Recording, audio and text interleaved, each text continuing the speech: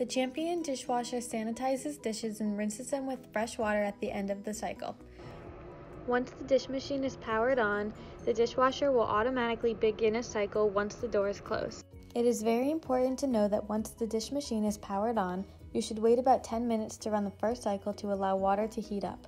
The wash temperature should always be at least 150 degrees Fahrenheit, and the rinse temperature should be 180 degrees Fahrenheit.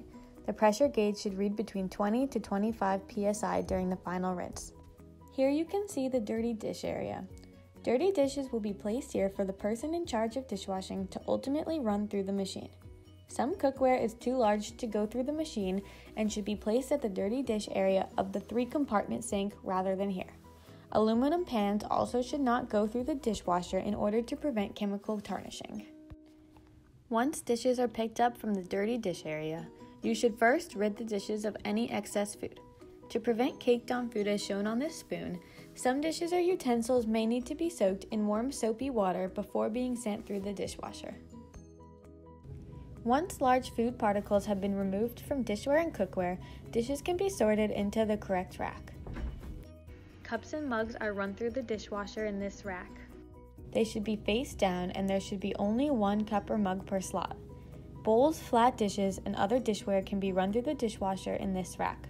Utensils must be run through the dishwasher twice, first spread out on this flat rack, and then should be separated by type in this blue rack with slots. Handles should be facing down to ensure a complete clean. Not all equipment has specific racks that should be used, but it is always important to make sure dishes are never overcrowded on the racks. After dishes are in the appropriate rack, they should be moved over so they are below the sprayer and on top of the sink. Any smaller debris that was not scraped into the garbage can, as well as foods that are more difficult to get off plates, such as sauces, should be sprayed. Food particles that are knocked into the sink will be sent down the garbage disposal.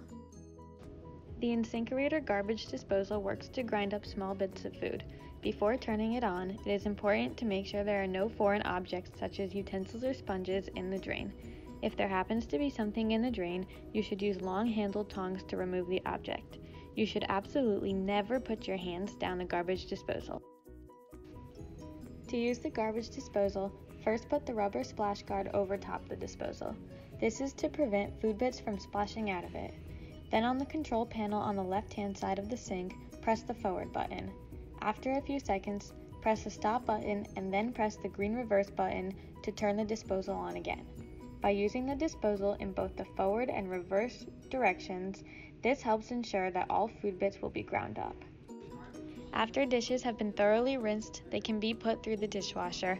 Move the rack from over top the sink into the dishwasher. Shut the door and wait for the 60 second cycle to finish. When the cycle has ended, it is extremely important to make sure that water is no longer flowing before opening the hood or it may spray out. Move the dish rack over to the clean dish area and then move dishes over to the drying rack to allow for more space.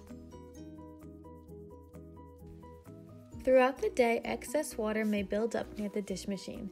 Because some of the water that the dish machine uses is recycled, it is important to squeegee all excess water into the sink drain. The dish machine should be cleaned every two hours and at the end of the day. First, push the power switch to the off position to drain the machine. Spray the inside of the machine with clean water. Remove the upper and lower spray arms and flush clean, then remove the scrap screens. Clean the round drain screen and flush the bottom of the tank. Once this is done and the machine is reassembled, turn the power switch to the on position. When cleaning at the end of the day, leave the door open to help with drying. At the end of the day, the dish area should be as clean as when the day began. Make sure all areas are washed, rinsed, and sanitized, and that racks are stored in their appropriate locations.